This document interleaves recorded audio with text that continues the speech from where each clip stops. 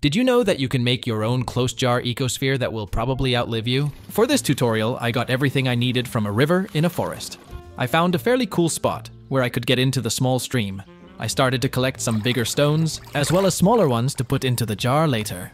Besides this, I picked up some sand from the river and a bottle of water. Of course, we also need some plants for a sustainable ecosystem. I grabbed some plants that were growing in the water to make sure life inside my jar will have enough oxygen. A close look at the plants I grabbed already revealed a lot of life. To get started with the ecosphere, I grabbed a big jar and started to fill it with sand, water, and stones of different sizes, the plants I grabbed in the river. After placing everything in a way I liked, I filled that jar with the water from the river. I closed the jar and put it under a plant lamp to make sure we plants get light to be able to do photosynthesis.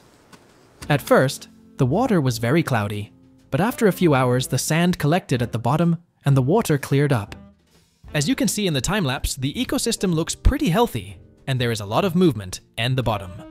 A closer look shows that there are a bunch of worms and shrimps living in the ecosphere. If you take a closer look at the plants in time lapse, you can see that they are photosynthesizing, as you can see from the small bubbles they produce.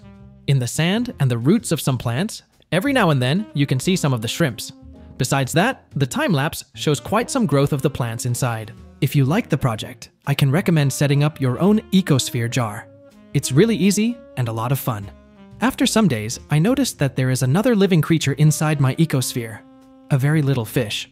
He swims inside and eats some of the algae growing on the stones. I hope you enjoyed the video, and if so, don't forget to subscribe for the next project.